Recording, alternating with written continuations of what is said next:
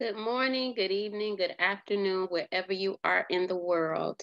I want to give a shout out to For Your Inner Voice at um, For Your Inner Voice at Chidenity, at Nye Only Speaks, at Absolutely Beautiful 215, at Galaxy 2 Goddess, at Honora Rivera for all of your support Yostera Bochita, uh, Latanya Hamilton, uh, the African Chamber in Nevada.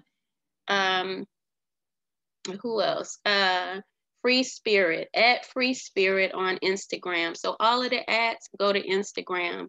If I didn't say at, you know, find their name on Facebook to see what they're doing. I got to get their ad signs and more. Many people support us, and sometimes we forget them. I want to always remember to lift those up who have lifted me, and um, even those that were um, frenemies. I want to lift you up. You know who you are. But I woke up this morning and I got my exercise on, right? And what I heard was busting out, right? And we're in a season where we are, if we're aware, conscious, we are busting out of the L7 paradigm. I've taught, you know, my astrology classes um, on those areas. You'll see me go uh, in different areas because, you know, I've been um, led to learn psychology um, techniques, um, theology uh, methods, as well as astrology. And I even worked in um, cosmetology. That was the first uh, profession that I went into when I owned hair salons. So there's a lot to me. And at this time in my life, what I found um, as I continue to explore me is there were areas that I did not explore, such as my heart, um, and how my heart has went out and assisted many people you know, in their needs. And, you know, sometimes life will bring you back to a place and ask you to explore you to find out what you have not explored about yourself. And one of the things that I found when I really sat down and I looked at that was I hadn't explored enjoyment. I allowed other people to enjoy their lives because I supported them and I was there for them seriously and sincerely, you know? And, you know, I believe that our lives go in a certain way so that we can learn things. And when we learn those things, we have a choice and an opportunity to break out of self imposed imprisonment.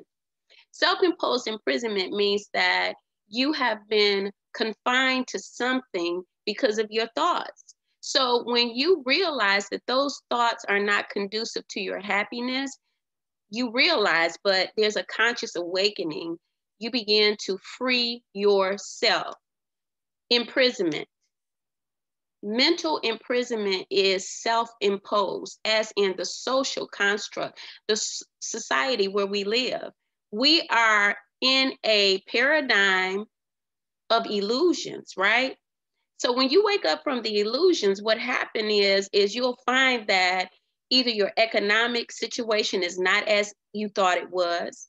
Um, or you didn't have to live according to the way that all of society is set it. And that's not meaning that we go into illegal circumstances to uh, get money, but you'll find that money is actually energy, your energy, right? Because you go back and you research and you'll find that money, that paper, it was not in the beginning of time. And so I'm a student of time.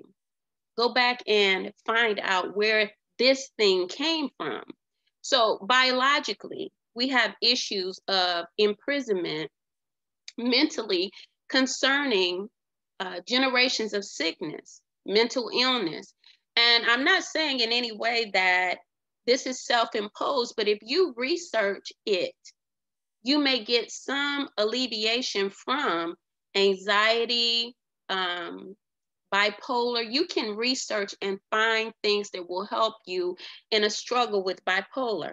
Um, schizophrenia, as a matter of fact, you study and find out what works for you. And not to say that you should not take your medicine, because a lot of uh, clients that are mentally challenged, they go into drugs because they don't like the effects of medicine. So, all of these things we research ourselves and we find out how we have allowed ourselves to be in prison, right? Um, you may have to take medication, but you may find something else that's going to help you to function better rather than just mm, just laying around and being. Um, sometimes I think that sometimes we're feeling like we're hopeless. No one is hopeless. Whatever situations we have in life, we're given them because we have the ability to overcome them. So that is uh, mental imprisonment concerning sickness. You learn how to regulate even your diet, you know, your meal plan around whatever sickness you have. and a lot of people, even with hypertension, they have it because it's been biologically, you know, passed down in the DNA, but there's something that possibly we have to learn how to change concerning our eating, our eating habits. So then we go into economics. If you are economically living in lack, excuse me, you want to begin to study yourself, your habits, change them, work with people that have different economic habits. If you have challenges in relationships, you want to work around or be around people that have successful relationships or even research what it takes. You know, look at your own behavior and say, what am I bringing to the table that keeps me in a loop where I'm moving from man to man and woman to woman. Because if we don't sit down and begin to look at ourselves, then where is um, that mental imprison, the L7, the box, the square, you know, that Rick James talked about busting out of this L7 square. The square is, as I, I, said, teaching my the people that come into my astrology classes, the squares are in our natal chart from the beginning. Those are areas that we have to um, begin to work at opening up to. That means that if I'm resistant to actually communicate with people um, and listen to them, um, that I always have to have the upper hand. When I realize that this is a problem, no one's communicating back with me, that I'm always the one talking, I need to research my communication um, method. Now, I was in situations at times in my life where I heard everyone speaking and I was observant. Observation is a very strong point for me because I work in behavior health. That means that the first thing I'm going to do is look at a person's behavior, their body, and I'm gonna learn a whole lot. Even when I was in cosmetology, I learned to look at the hair, and my mind would begin to design a hairstyle for them. So as I progressed in life, or I like to say evolve at this time in my life, because I don't I don't want to resolve anything. While Saturn and Aquarius is coming together, I want to evolve because we're in a new age, right? A lot of people didn't even want the new age to come or for you to speak of it. But this energy that we're feeling is helping us to feel better and even sense a, a, a, um, a spirit of freedom here um, at this point in time. We needed it because the last, um, I would say for me, the last 10 years have been hell, but I survived. I survived and I took the lessons that I had um, ascertained from the last 10 years and I'm making them um, a product of sales increase, a product that will help others change their lives. And that's why, you know, I'll, I'll, I'll, you know, put out short videos. I'll talk about the young ladies that I work with. Um, I'm committed to um, allowing myself to love in spite of a lot of the hardships that I've went through. Uh, the devil within us and that devil that those devils that we attract would like for us to change our commitment to love. But what did you study Christianity for?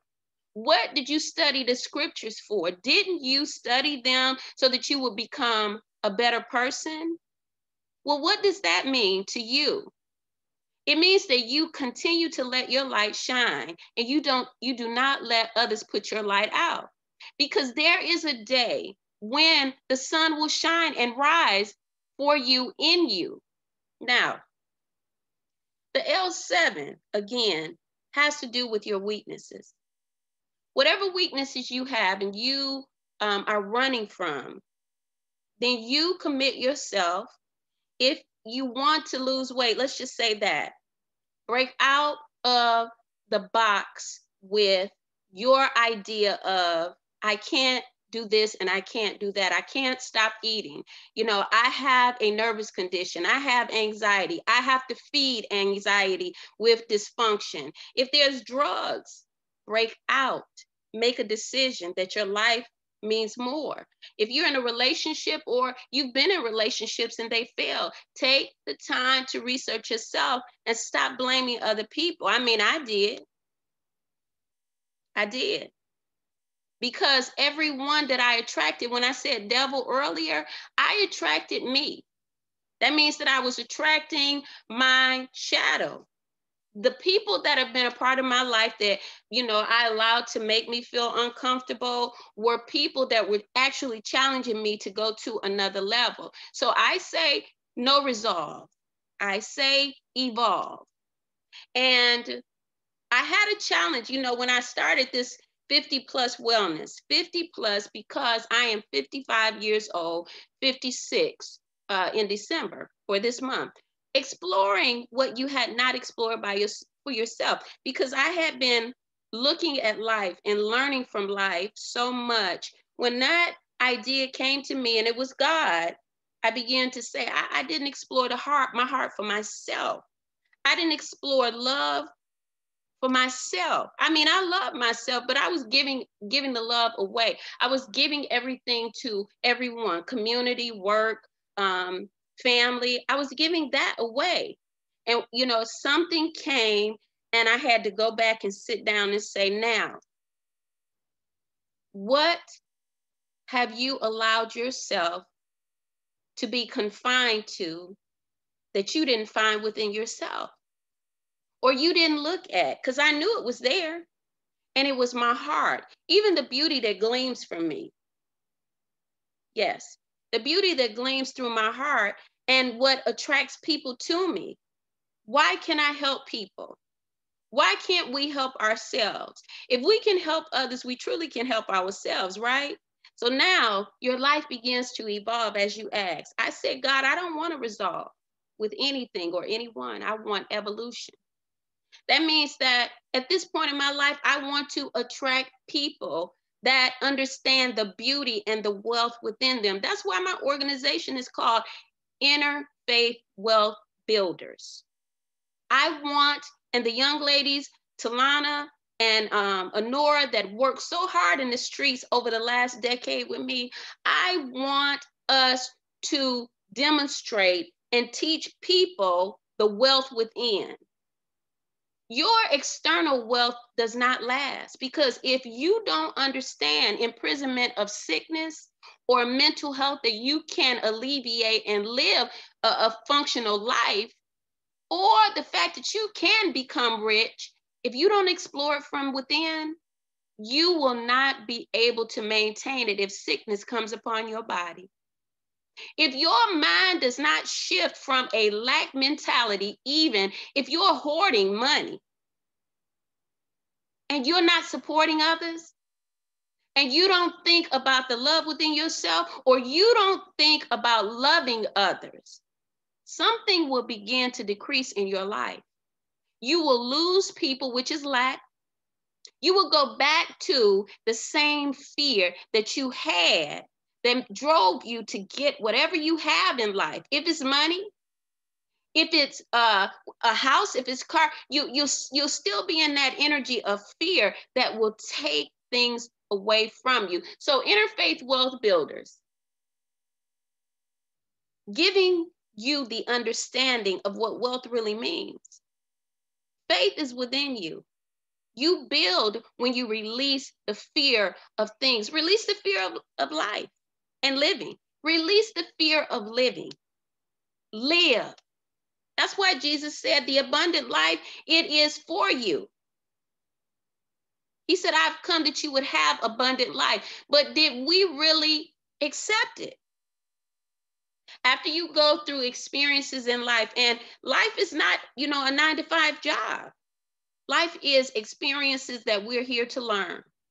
So, whatever you mastered, look at the areas that you have not mastered and continue to master areas that you have not. That's what manning your L7 is. Prophetess Kamor talks about manning her L7 a lot. And that came up when I started teaching them the understanding of their astrology chart, where the squares are. So Rick James is saying, we're busting out. We're busting out of this L7 square. It is a choice to free yourself from self imprisonment. Now, you want to hear a little bit before I go off? Come on, let's do this.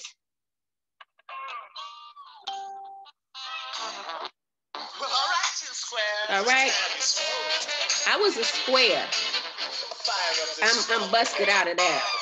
That's why you'll see me at least three days a week en- encouraging people to get up and exercise. When you 55 and over, you ain't got to live a life of death. Retired? Really? Enjoy your life. Whatever problems you got, they will go away as long as you can maintain happiness and enjoyment. Get free of people that are not in that same energy. Get free of people that try to convince you that you are not something that you are. And find who you are.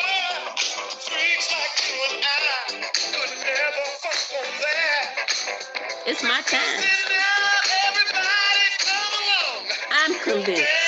You ain't gotta be, because it's all about me. Be a part of me, because the sun is shining. Be a part of we, because all of us got it. All right, y'all have a good day.